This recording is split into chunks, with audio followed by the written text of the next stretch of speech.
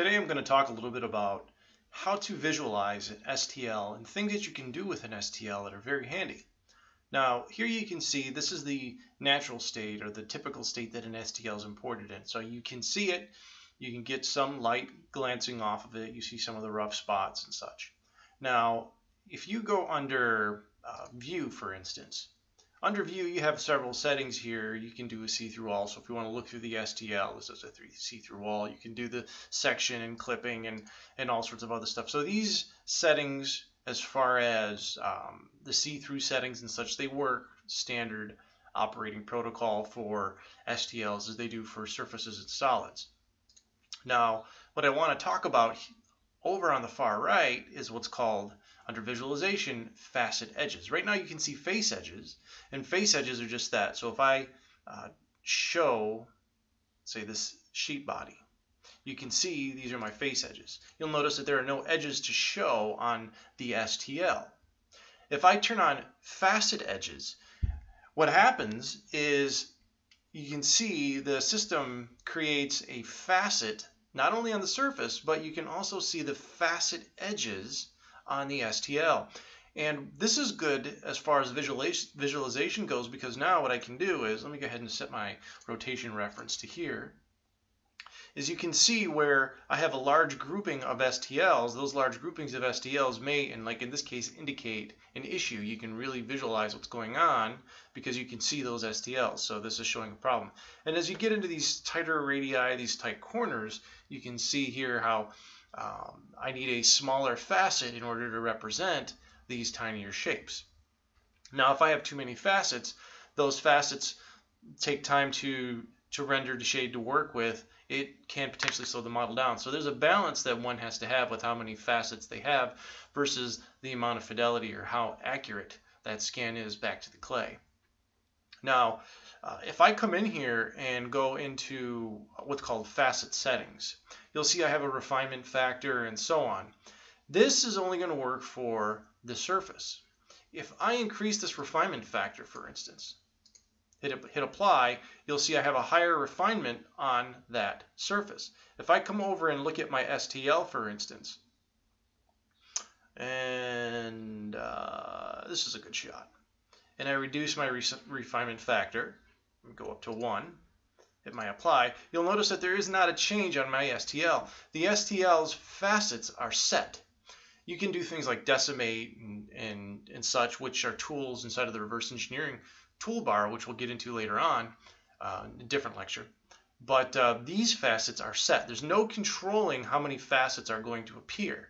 So if I go over here and say ultra fine, you'll notice how big those facets are. If I zoom up on this and hit my apply, those facets don't change. But if I look at this, you'll see that those facets do change because this is a surface.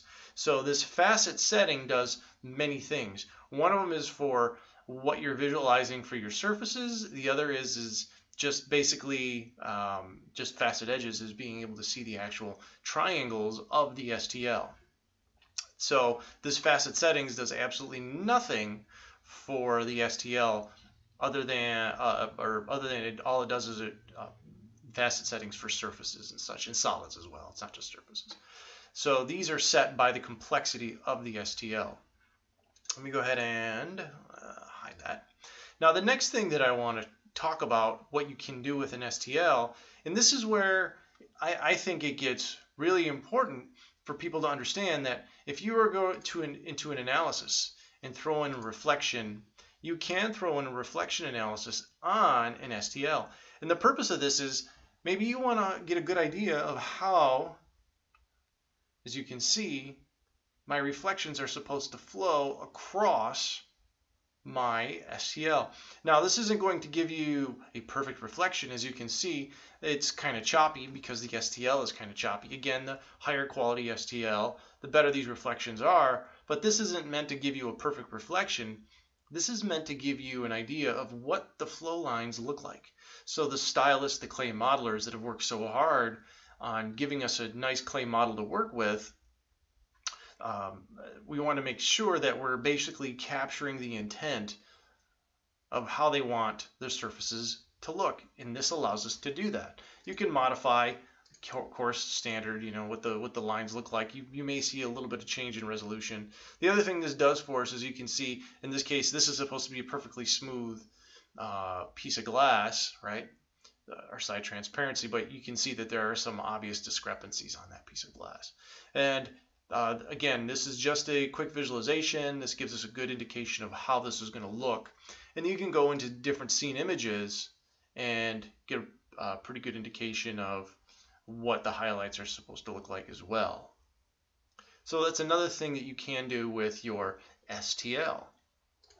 Now, something else uh, you can do with an STL is you can use things like a section to cut a section through it. So if I were to, uh, let's go like this, show mine, and I'm going to go ahead into home. I'm going to go through and create a datum plane. We'll go through right about there is fine. Now, when I come into my curve function, I can go into, there we go, section curve. I want to section my STL and I want to section it with this plane. Let me show results. Now you can see those are my curves. They're going to be generated through that. I'm going to select OK. Now the thing that you have to be cautious of is I'm going to go ahead and move this datum plane. You'll notice that the curve doesn't go with it. That is now a dead curve because it's going through an STL. It cannot make a parametric section. If I go through, go into my section curve once again, pick my STL, pick my plane, you'll notice if I go down through here, non-associative settings, if I turn on associative, select OK, I cannot create associative section curves from facet bodies. So it tells you. So that's why in order to generate that curve, you have to turn that off. Okay. Now, there are things, some of these great tools, you can group those section curves, create a group. Um, you can output sampled points and such, and, and, again, group everything into one grouping so you can pick things by name and such, but that's grouping is a whole other set of tools. But in order to use the section curve, you have to turn that off. Now, something else, let me go ahead and draw just a line. And finish my sketch. I'm going to go ahead and project the, this curve onto my STL along a vector. Reverse that and select OK. And again, some of the select objects cannot be replaced or deleted. Create a copy. All right. So as you can see, it throws that curve up on there. But if I go to that curve, you'll notice that it's, again, non-parametric. It does not have the capability of creating a parametric entity or element through an STL. Uh, but now this curve sits right on that STL. So uh, the nice thing about creating your curves is, is, some people like to work with sections versus an STL. You can now uh, space out your planes every 100 mils, 50 mils, whatever it is. You can throw a curve on a surface or on your STL. Maybe you have a curve like this opening and you want to, or uh, this this wheel housing, you want some radial sections, so you can throw a curve on there, project it on there, and do some radial sections. So these are some of the things that you can do to help visualize, help um, create geometry to uh, make your STL a bit more usable. So your rendering settings, like if I go to a wireframe, you'll notice that all I see are kind of the edges here. I set up my uh, uh, rendering with an analysis on there so I can do my analysis on there. So this reflection tool does a really nice job. Now with the section analysis, let's do, I can also come in here and do a section analysis. As you can see with my section analysis, I can um, create very similar to what I did before, sections through whatever uh, plane that I want to, multiple planes, X, Y, Z. So again, if you wanted spacing of 100 millimeters from a specific point, maybe you want this at 0, 0, 0. There we go and then you want several sections going all the way through your vehicle.